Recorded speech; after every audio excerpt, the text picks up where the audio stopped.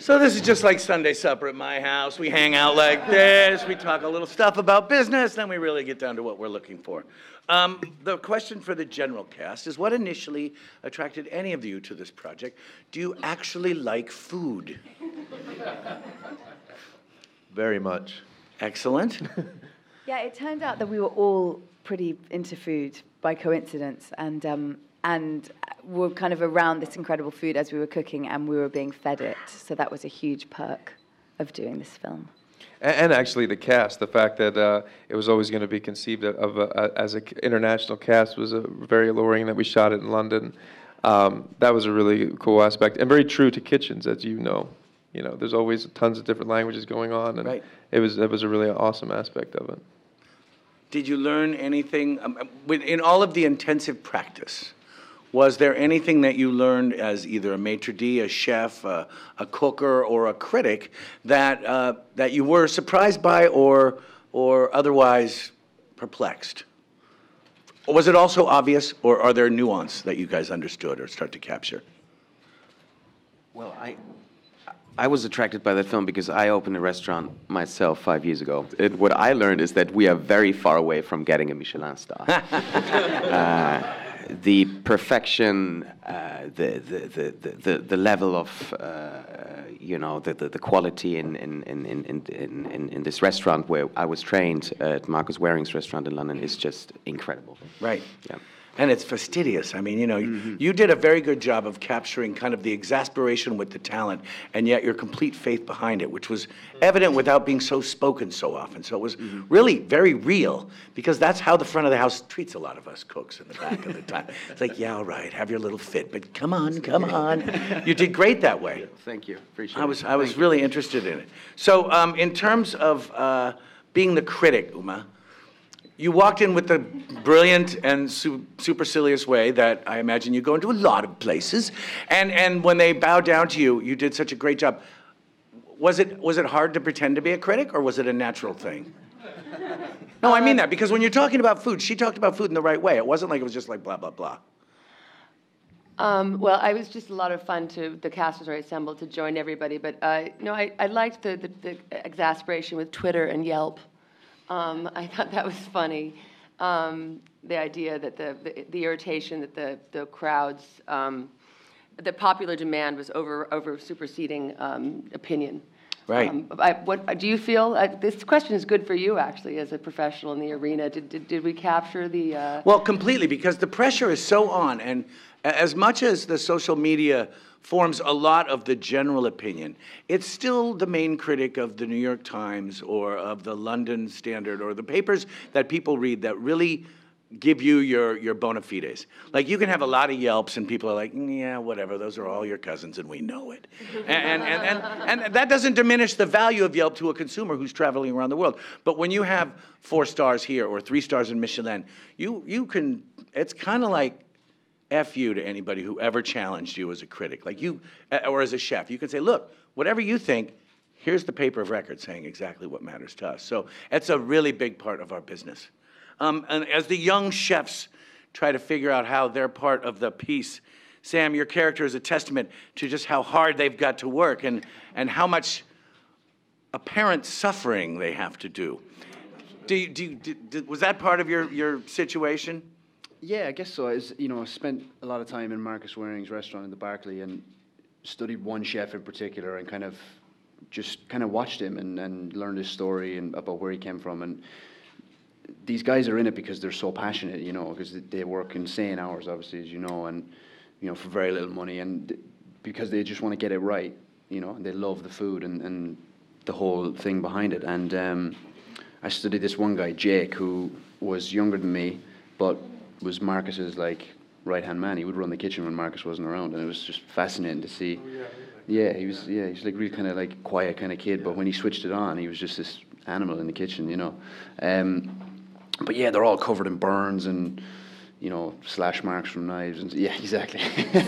Still have them even Yeah. now. Just every now and then something tricky can happen. Yeah. Well, so did you um, in the in the screaming and passionate scenes that Bradley did so well?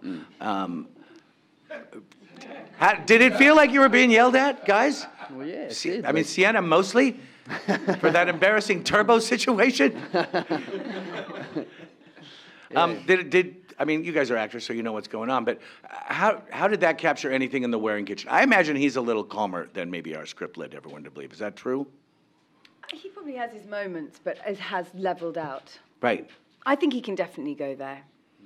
Well, I think what happens as chefs mature, they realize that yelling is not the most effective way to change the behavior of the people that are working with you. And in fact, a quiet lecture delivered sotto voce, yet within earshot of the people that you work with, might shame you more into quickly. Because when I yell at it, or when I used to yell at someone, I would always have to go back and apologize because I felt like an idiot. And then, of course, I've diminished everything I just yelled about to a whimpering little apology and, gee, you're doing okay anyway. So effectively, the yelling was such a crucial part of it. I mean, Bradley, you felt pretty jacked up about it because you did the throw pretty well on that. Did you talk to Marco about that? Marco Pierre White at all about that? Uh, I did, yeah, and and Marcus and uh, and and Clare Smyth at uh, Hospital Road, Right. and uh, and Gordon Ramsay. So I had, I had a, and just watched. Who was so- actually the PhD student of all PhD students of yelling chefs, right? But what's so interesting, I just love the family of it all because you worked under Marco, so did Gordon, and so did Right, Marcus. right. So you know, and and you know, I think Marco, and he will uh, say it openly, has changed a lot over the years and has calmed down a lot. Um, but no, there's tons of stories which you know more than anybody of. Uh, you know, that's. I think the movie was actually pretty tame. Well, compared to Marco's worst days, yes. Yeah. But I think it captured probably more the 21st century vibe, right? I mean, that was yes. 1985. Right. And, you know, Marco would literally take scissors and cut guys' chef coats up while they were on them just to diminish, like, Right. you don't deserve this. Snip, snip, snip, snip, Yeah. snip. What crazed mind comes up with this way yeah. of torturing people in such a cool thing? And yet, the pressure and the intensity when the Michelin Guide is in there, I think, without wrecking the movie, there's a scene where there's some sabotage that is so well done and so well thought out that it's just like, wow, that's a payoff that I Yeah. thought was great.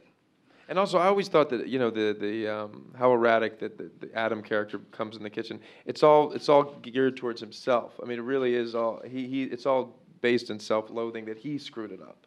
Well, right, and that's fundamentally why chefs yell because they realize they didn't train their staff properly.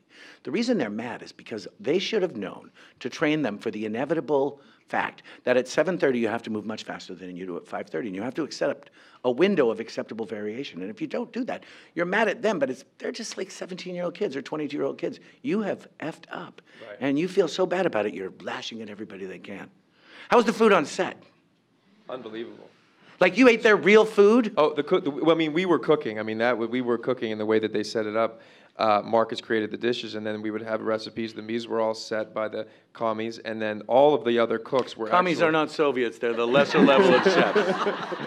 all the other cooks they were not extra actors they were uh, they were cooks that people that work in michelin star restaurants around london so we were cooking the food so we were eating the food too And Riccardo tasting it? was oh yeah all the time we were testing constantly but then we would actually in between takes eat a lot of the meat uh, Riccardo was just doing brilliant work in the grill So, did anybody take home any recipes that they're going to cook at their house now?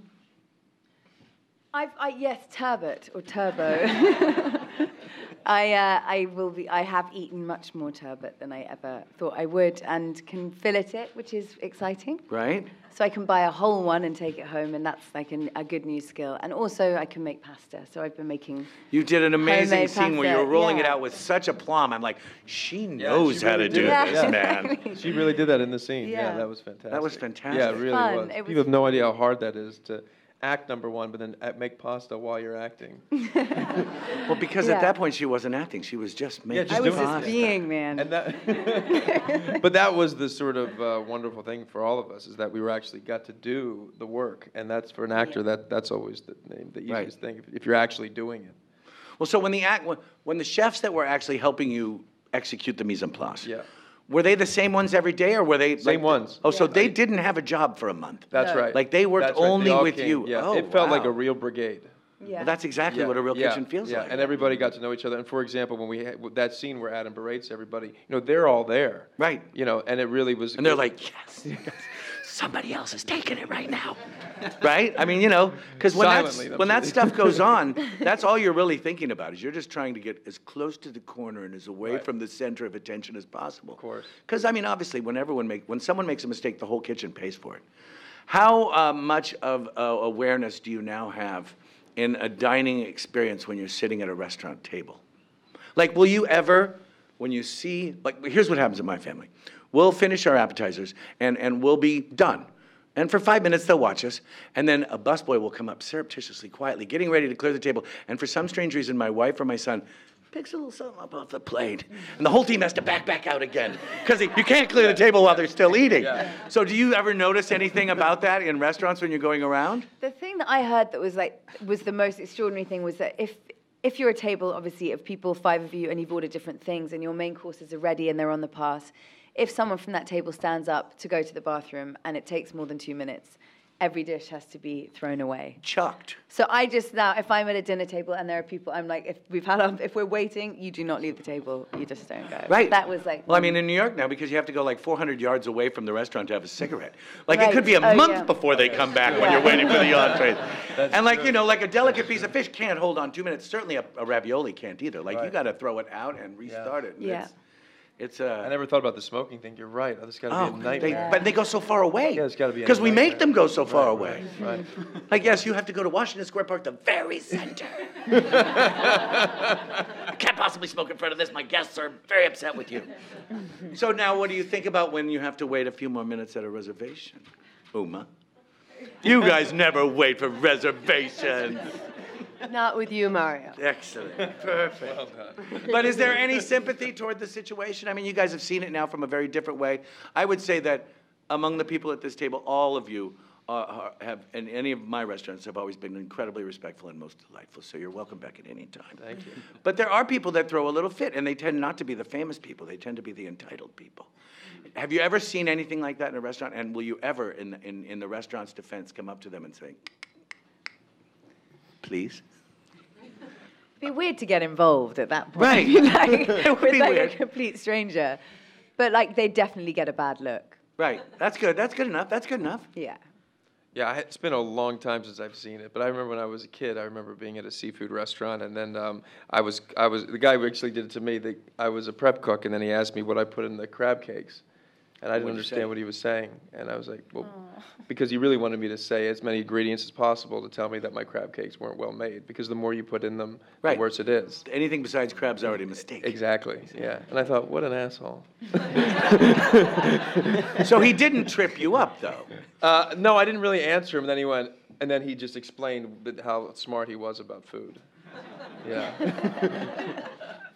That's something about New York and London, I imagine. That no Although this matter- was Somers Point, New Jersey. Ah, Somers Point, New Jersey. Obviously, a trading ground for New Yorkers. That's where they're learning how to be New Yorkers. Let's go down and embarrass the busboy at the crab place first and see how it feels. Right? Oh yeah, I did great. Let's go. Let's go get on the train and be tough to somebody. Right. Oh, now we're in Manhattan. All right. Here we go. So as you go out to eat, I mean, at, at, at the fancy Michelin star restaurants, a lot of the trade is in the tasting menu, and the uh, the Michelin critics' alleged behavior, which we have yet to be able to figure out as well as you guys did in the movie. But are you more prone to order tasting menus or a la carte now? Uh, tasting menu. If Tasting there's menu? tasting, Yeah, tasting. of course, yeah. And why is that? Because The experience, the Right. whole, you want the whole experience. I mean, if you don't have the time, obviously, it, it depends. But if you're going to go to a restaurant that has that option, you've gone to a really great place, you might as well commit. It would be like going to the theater and say, you know what, I don't, I don't want to see Hamilton. I'd like to see Kinky Boots, please. when you're there. That's what I'm saying. Yeah, when you're there, exactly. You're like, actually, Or, tonight. Can I not skip the second act? I'm really a little tired tonight. Yeah. Just a couple of monologues Yeah, from right. an old coward thing, and Right. then that will be good. Right. That's hilarious. All right, so uh, I've I don't know where Hamilton and Kinky Boots came Well, from. they're How both, random You're is they're both Angry, fabulous angry, musicals here in New. York. so random. Brad Bradley's auditioning for one of those two, apparently. All right, so that's enough of my questions. Let's hear what you guys have to ask. Start with you. Thank you. Brad, you do an amazing job of. There's a microphone. You do an amazing job of conve- is it on? conveying your character's complex inner life. How Thank did you, you. relate to him personally? What did you draw on inside of you to, to c- portray Uh, him? Well, I, mean, I had a tremendous amount of uh, uh, research and and and, uh, and being able to speak with people in that world, um, and then you know, just the script was fantastic. Um, and it, if I had to relate to anything, you know, that idea of trying to um, to have a goal that you're setting out to do and, and, and an obsession to, to um, do the best you can at that. I can definitely relate to that. But I think the, more than any other character I've played, I really relate. I, I saw how different I was from this guy because he lost the joy in what he did. And, uh, and that's a hell of a thing to lose, as you, I'm sure you concur, because food is so joyful. And if you've lost joy in cooking, then wow, you are lost. And that's where he is for so much of the movie. Um, and then characters like Helene really sort of um, re-inject him with the that thing that he lost back in Paris. I have one question before the rest. My wife wants to know. She knows you didn't shuck a million oysters, but did you shuck ten of those oysters? Oh, uh, probably sixty. Because she said I saw a lot of arms without any body, so I'm assuming that it was a prep cook. No, that was me. It was you. Yeah, there's no double in the whole movie. I told her Yeah. so. But in All fact, right. they, they did this thing where we um, he the guy loosened about ten of them in the Right. beginning, but we got through them in like Seconds, half a take. seconds, right? Exactly. so I was like, oh. All right, I better go in now. And I like I had this stupid idea that I'd bring the bag out, which wasn't pre. Right? right. Look good though. Look good. No, no, it was good, but Right. I mean, yeah. But I was so lucky. That was the first day of shooting, and I mean, as you know, because I have shucked oysters and I was a prep cook, and you, c- I mean, if you're ever going to slice your hand, it's it's shucking an oyster. Mm-hmm. And I really thought. I even said to John, well, I said, bro, I mean, just to let you know, this goes south. We got two weeks of postponement. we got to, yeah. You better find a lot of other stuff to shoot. Right, exactly. Yes, sir. I want to congratulate each of you for the emotional, for the emotional integrity of your performances. Um, the food aside, every, I mean, I wanted to throw my microwave out when I came home, but I wanted to ask Ms. Miller and Mr. Cooper. This is a film on many levels of, of recovery and also reinvention. And I'd like to go out of the kitchen for a moment and just both of you talk about how you saw your character and going through the different phases, particularly Mr. Cooper with the recovery. It was not just from substance abuse, it was from a lot of other things too. Um, well, in terms of what I was just commenting on before, you know, I think that we find this guy, he's white knuckling it. You know, he he he pitches to Tony, you know, how he's has all the answers, and he knows exactly what he's going to do. Um, but he has absolutely no clue, really, because he's the same guy he was, just minus um, all the things that he did to inoculate himself from his emotions. So you're sort of watching this guy just actually spiral even further and further down uh, in the movie, the way that I saw it. Um, for me, um, I, I think I really, I really liked this the humanity of this character and the, and how honest it was. Um, she's a single mother. She's doing her best. She's passionate about cooking, but she's she's juggling a lot of balls, and everything seems to be compromised at a certain point. And she's she's trying her best. And I just think that it was, you know, I wanted it to be a very real person. I didn't want to wear makeup or kind of portray it in any inauthentic way possible because the women that I've met that work in these kitchens, it's a very male dominated environment. They have to be really tough and strong and and you know, she's got she's got depth and she's got pain and um and I just I, it resonated. I thought the uh, movie had a lot. It was very much like a sports film in another way, in that it had the sort of arc of, you know, the comeback story, the competition. Did any of you feel the same way? And did you at all think about it in terms of that sort of? Uh, and you, of course, experienced it with the the chef television shows and all. Could you talk about the com- competitive side of the film and how you guys thought about it? And did you get passionately into that competition? Uh, you know, it's funny you say that. You know, we did, and in no way would I ever compare it to the to Hoosiers, and, and that movie is unbelievable. but but we were talking about, you know, I loved when Gene Hackman, you know, moved to this town, living in Barbara Hershey's house, and like helping her, sort of, you know, walks out when she's tilling the field at one point in the middle of the winter, and you just realize that he's just so not in his element. You know, where where was he before? And we talked about that specific aspect of the character because that character is a little similar to, to Adam Jones actually in a way what his arc but yeah it's very much you know I mean the Reece character you have this nemesis this other guy who's competing and hiding just how competitive one is but then we see that little sort of slice of his personal life when he's completely destroying his restaurant just because of a decent review that his uh, old partner got Yes, ma'am. You. Oh, sorry.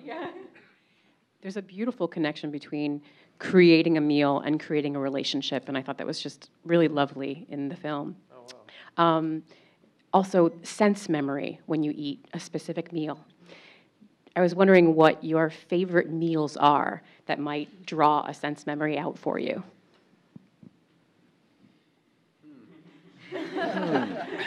It's so hard. We've obviously been answering a lot of food questions, and um, and there are so many different types of foods. But for me, there's something really comforting about my mum's roast chicken. And I'm, um, yesterday I had um, a fried black rice, and I'm half Spanish. I know that from Spain. My mom does that a lot too. And uh, but that's it was spectacular in a restaurant called Stella. Estela, uh, yeah, yeah.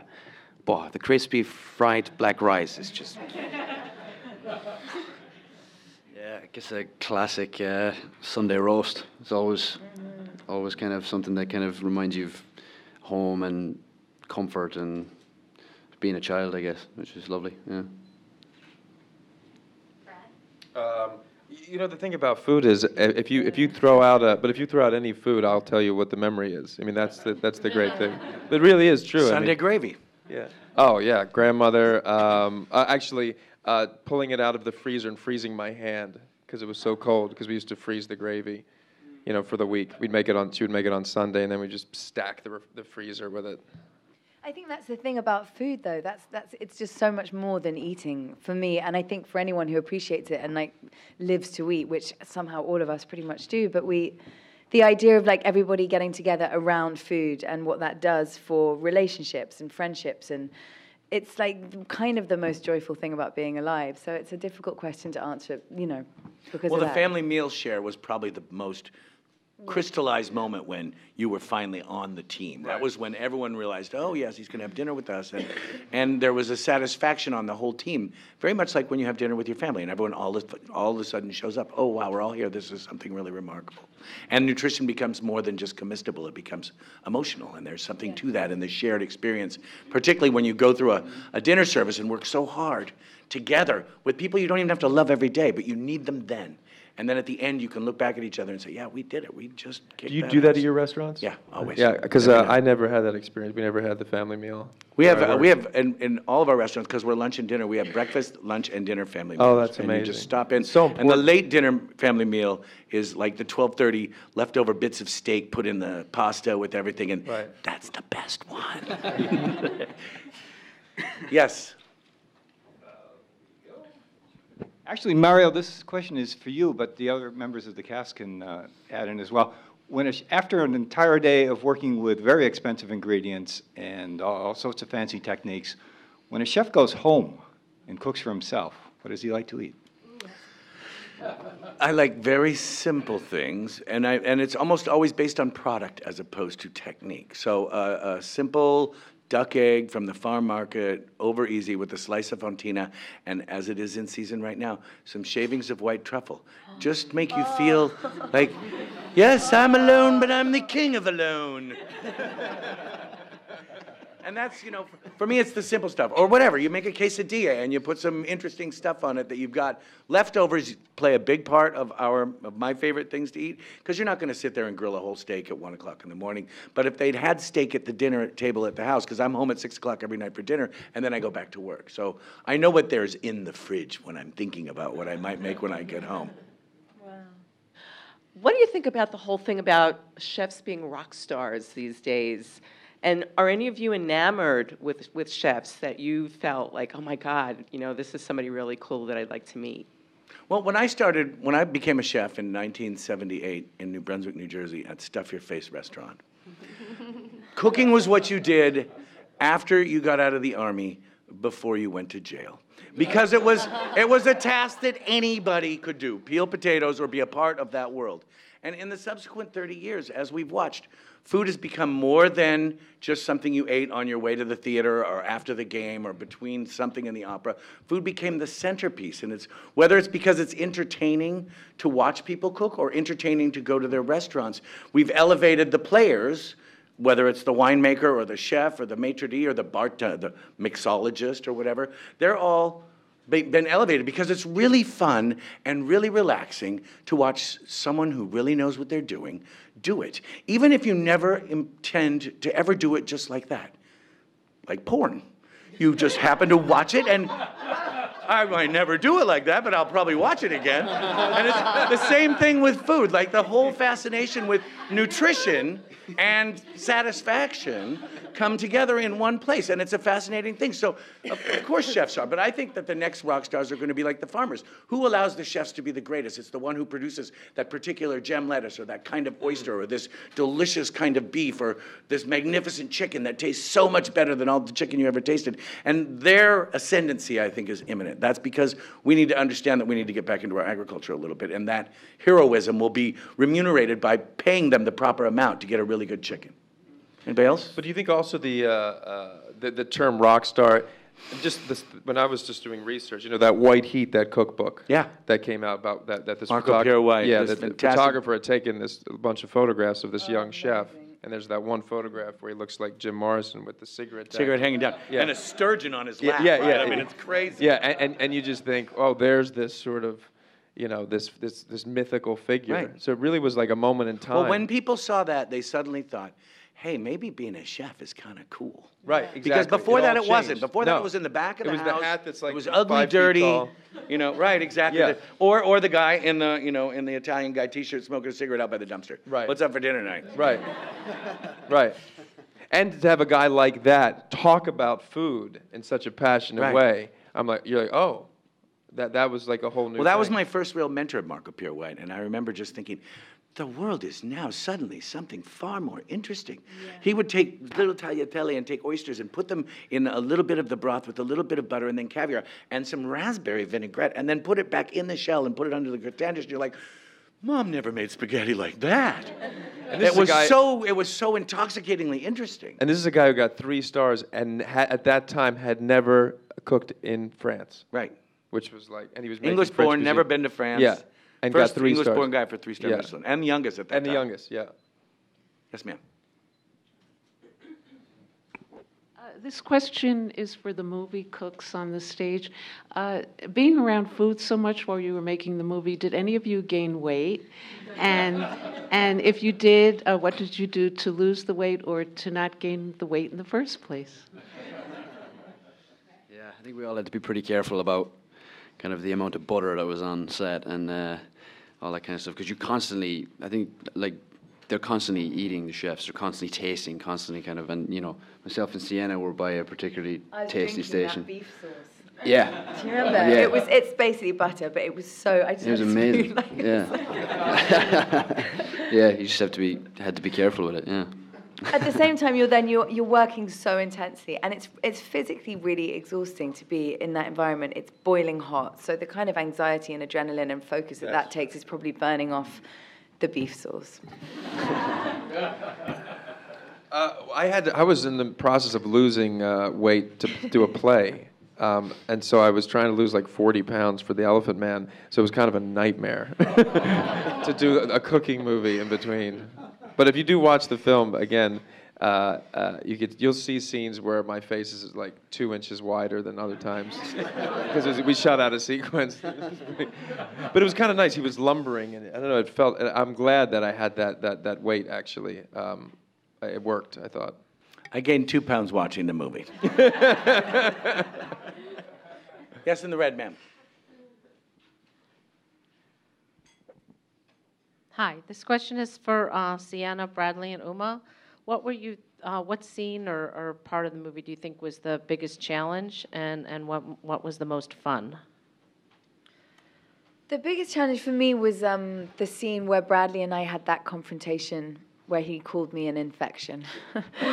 um, there was just something about the atmosphere on that day, and I think having worked together so intensely on American Sniper, and we'd sort of got to a level of trust with each other as actors where we could just kind of get quite deep quite quickly, and um, it it felt very intense, very real, and I think it kind of it, it just really affected the environment and. Um, one of those things. It was kind of cathartic and very interesting and very dark, but but hard to go through that with someone that you know with your friend. And then uh, we had this kind of enough of, a good relationship and of, of a good understanding of each other to be able to avoid each other for the rest of the day without having to apologize or explain why. But it was it was just a pretty real moment. Um, And then at the end of your day, you're like, that was a great day, because that's the weird thing about being an actor. Like, the horrible stuff is what makes you feel good. Um, but uh, but the best part of it for me was the training and, and learning these skills and being around this incredible cast. We all became really close and we laughed a lot and we worked in a kitchen. We were chefs and we really did it. There was no doubles, as Bradley said. And, and to have that experience of really living another profession is, is one of the most exciting things of our job, I think. I, mean, I just had one scene, so well, well, three. You know, you know. but anyway, it was a pleasure. It was just fun. I just enjoyed myself. Um, yeah, that scene was pretty brutal um, uh, with Uma. Um, yeah, I cried the whole that was time. tough one. Second half of the day. um, uh, I think the scene with Matthew Rhys was probably the, the was the most shocking one. That's at the end of the movie when he shows up uh, um, at his nemesis restaurant. Um, it was late at night. and we didn't have much time, and uh, and the bag thing just sort of happened in one of the takes, and then. You know, it, it just feels vulnerable when you're doing something like that in front of 12 people that you don't know at all, the chefs in, the, in, in, in Reece's restaurant. Uh, but ultimately, it was beautiful because uh, Rhys, Matthew Rhys, who plays Reece, was just incredible, and we didn't really know each other at all. And then next thing you know, he's uh, you know caressing me and trying to calm me down. I mean, it was really kind of, and we're bonded forever. Matter of fact, I haven't really seen him since, and uh, I look forward to seeing him tonight because we just we looked at each other after and we're just, it was like why we do why we both love doing what we do is to be able to. Uh, to really put yourself in imaginary circumstances and, and, and hope that accidents like putting a bag on your head and realizing you can kill yourself uh, happen. Yeah. Yes, sir. Uh, I had no idea when I, until I saw the movie about this idea of food trends that you know you can come back after a few years and everybody will say the way you were preparing that's all wrong today. We're doing it all differently. So I wanted to know from the actors if there were uh, any food trends today that you sort of dislike or hate or think are stupid.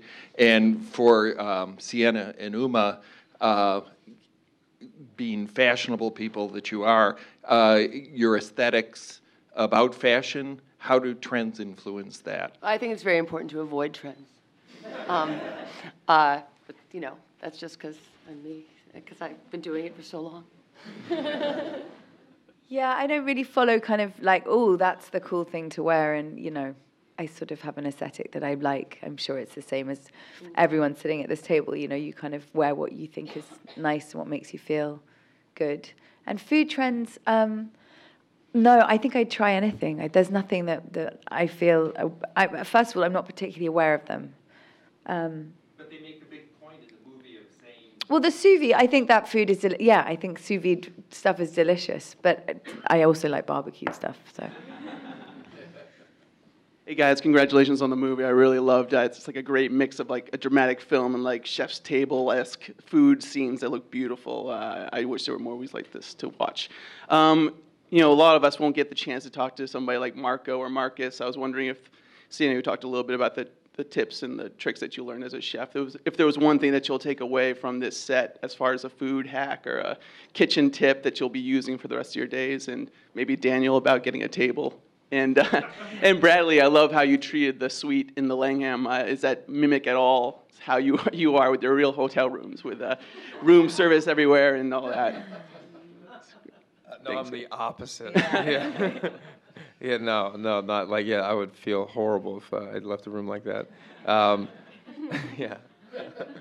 Uh, spoon, we were talking about this yesterday. You know, I always thought spoon was the sort of bastard utensil, uh, but uh, bastard child, the utensil. Uh, but um, it's the most, um, it's the optimal, uh, most worthwhile, and an essential element to any cook if they're going to cook. And I did not know that before. And also the great thing, I, I loved. Uh, Mar- I, I got to, Marco and Gordon talked about plating food and just you know, once you make a choice, live with it. Don't if, if you ever see a chef, you know, sort of, and then uh, you're, it's over. It's like, and, and they- they were so clear about that when I was plating food in the movie. I thought that was really interesting. You know, see, have your vision, you know, improvise with it, and then that's it. Would you agree with that? Oh, completely. Yeah, yeah. Once you second guess yourself in any craft, you're, Yeah, you're yeah. gone, you're done. Yes, ma'am. If, you, if there was one thing Oh, sorry. Oh, well, I yeah, I think um, I just learning being taught how to cook fish, which is which is like a simple, delicious thing, but really easy to get wrong. And I now have a pretty solid and well rehearsed technique as to how to cook fish pretty well, and it's impressive at a dinner party. So that's nice. Hi. Um, one of the things that keep coming up in the movie is that there, I would say there's a lot of um, emphasis placed on pride, respect, and validation for one's work. And um, there's just a two-part question. If any of the uh, cast members wants to uh, answer this, what gives who or what gives you validation or pride in your work? And could, the second part of the question is, uh, can you talk about John Wells' directing style in this very, you know, interesting movie? I, I personally, I'd say being able to uh, having a, a, good day's work. I'd say feeling like I have given it my all, and uh, being with people like the people up here, and feeling that we actually created something together. That that that's that gives me great fulfillment. Um, and somebody like John Wells creates an environment where that can happen. Uh, for example, we were, when I was just mentioning the scene with Matthew Rhys, I mean, you have to have a very um, a director that knows exactly what he or she wants and is and is really inviting the collaborative uh, experience, which is my my for me, all the years that I've worked, the best directors are the ones who are the most collaborative, always. And and he was like that, and always willing to hear from everybody, and treated every single person with the same value. It was the guy who was a, a real cook who was in the back. If he had an idea, he would listen to it just as much as if I said something. And that's a, those aspects of a director that you, you want to gravitate towards people like that. Yeah, I think it's it, the validation question is complicated because it's. Uh, I think if um, you know, it it just it depends. You know, it's um, it really has to come from somewhere in you. And I've I've certainly had experiences in the past where I felt like on that particular day, maybe I didn't show up to the degree that I wish I had. Mm. And uh, it's hard to feel fulfilled regardless of what the response is to that. I think you really have to know that you've done everything you can to put everything you can into what you're working on, and that that in itself is validation because ultimately it is a question of taste, and these things do ebb and flow, and people like stuff and don't. And I read reviews of films that I adore and they're terrible, and vice versa. It's just not personal. It's, you know, everybody has their own opinions. So I think you have to kind of turn down the noise on too much praise or criticism and just do your best. I find it other actors um, and other creative people in films too. But when another actor um, is nice to you, uh, it's very, uh, very moving. You know, you sort of surprised, like, oh, really? Thanks. um, sort of, it's people who really understand what it's like. It's most most impactful sometimes finding truth in moments as well is always a, a lovely thing. Like, you know, it could be a look, it could be anything, you know, but if it's a genuine thing, mm. you guys will feel that, and as a result, it will resonate off you, and then the audience will feel it. And I think that in itself, even if it's not fireworks, is validation enough to make you go, I'm doing my job yeah. right, I guess. Yeah. Fantastic. Two more questions. In the back, ma'am? Uh, yes, Mario, this question is for you. You spoke on the um, three-star Michelins. Mm-hmm. I was wondering, how does one become one, and what are the aspects of becoming a, you know, after they become one, what makes the judges so great in their critiques? Well, the Michelin Guide is very anonymous. We never know who they are, and they they present it a little bit in the movie like they could have kind of figured it out. And maybe in Europe it's a little bit different, but the Michelin Guide in America is is a little harder to figure out because like Del Posto has one star and the Spotted Pig have one star. So if you come from another town and you're using the book and you're thinking, well, I just went to the Del Posto, let me go to the Spotted Pig, you might be surprised or even discomforted by it. because it's an entirely different experience. So the judging is something we're always trying to figure out, and you know we don't, we don't really get to question them. But it's certainly a prize. And one of the things that we do in the restaurant business is if we're not treated well in a guidebook, we tell all our friends, no one reads that book, who cares? but if you're in the book, oh yeah, this is probably one of the most influential books. so we're always trying to crack it. But the, at the end of the day, what, and, and it goes back to the validation question, we're really cooking for ourselves in our kitchen, and we're really just trying to figure out how to share that experience in the best way that we find it exciting knowing and paying attention to every cook in the world and finding out what they're doing and what's going on in the ingredients. And a lot of customers come in and they don't really care about any information at all. They want something to eat, they really want to talk with their friends, and they really don't want to talk to a waiter or hear about the chef's passions because they're just there for something. So finding a way to bridge all of those options is having great front of the house staff who can read the customer and say, these people are really interested, maybe you want to go talk to them. Or maybe these people don't really want to hear about anything, don't go near their table, like they're busy. And that's kind of what the guidebook kind of rewards is our ability to make that experience seamless for any level of different kinds of groups of people that come in. But fundamentally, we're cooking for ourselves and we're building a restaurant so that we are most impressed with what we do. And, you know, that's the validation when we look and other chefs come in and say, wow, that was a good thing. That was a great thing. Last one, ma'am in the back. Yes, um, for the cast members, what kind of tippers are you? And Mario, what do you think of Danny Meyer's no tipping policy in restaurants? Let's hear about the tippers first. I'll bet you these are all very good tippers. England is really bad with tipping. It's just not in any way a part of the culture that it is here, and it's it's um, often it's included, but it would be ten percent, and um, and if it's not, you know, you, you can be as generous as you want, but but like in a taxi, you don't have to tip. It's very it's just different. I guess the wages are maybe higher, and that doesn't balance out the same. But here, like, yeah, you it, that's that's where people make their money is on tips, so you better be conscious of that. Yeah, same in Germany. It's 10%. So it always takes me a day until I understand. I always get these strange looks. the first day I'm here, it's like, Oh no! As, as, as soon as the American waiter hears a European accent, they're like, "Oh, here's one for the house." and and to that answer, that's why Danny Meyer is taking this on because what they're doing is they're changing the minimum wage. It used to be that you could pay a waiter four or five dollars an hour, and they would still make seventy or eighty or hundred thousand dollars a year because they were be, being remunerated by great tips. The idea of the good side of that is that you'll work hard because good tips are clearly a part of good service. The other side is that the whole team's working just as hard, and, and, and, and in a team player guy like Danny Meyer, it would seem that everyone should share in the upside and that they should all be a part of it. It's a way of, Danny's trying to get his hands around and his head around keeping the restaurant business sustainable, meaning that the business can profit and continue to do what it does in any way against the different kinds of things that are changing in the world while we try to figure out how to equitably distribute any kind of money for the people that are deserving of it. So it's a double sided knife and a three sided coin and a five sided conundrum. And and, and he came out first, and that takes a lot of balls, and I, and, and, I, and I look forward to seeing how he figures it out. Of course, my team's been working on this for five months, but we were not prepared to come out as the leader of the pack in this one. We've got to really think this out and really kind of do town hall meetings, not only with our staff, but with our customers to figure out exactly what they think is good. I would say if there's the first one, that would be the easiest one to do because it's a prix fixe menu there. Del Posto will probably be the first one that follows some kind of a line of what we're going to call servizio incluso. Yes, last question. Follow up on your question. Yes.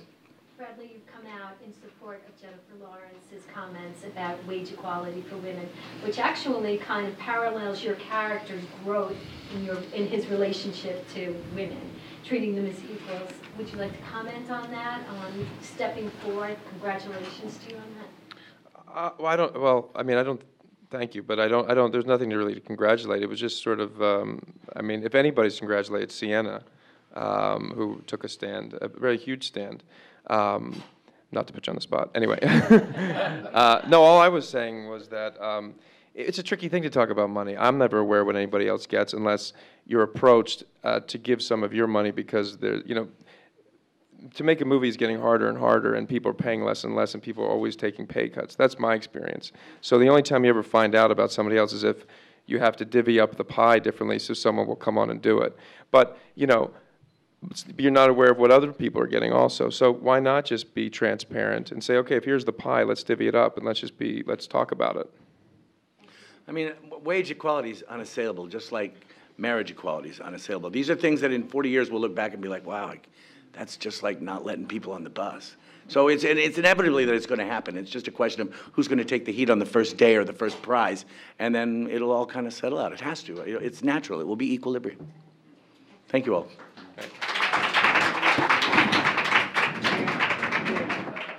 Ladies and gentlemen, you're watching Hey You Guys! Hey, you guys, huh? Hey, you guys, Is that from the Goonies? It is indeed, yes. Nice. Hey,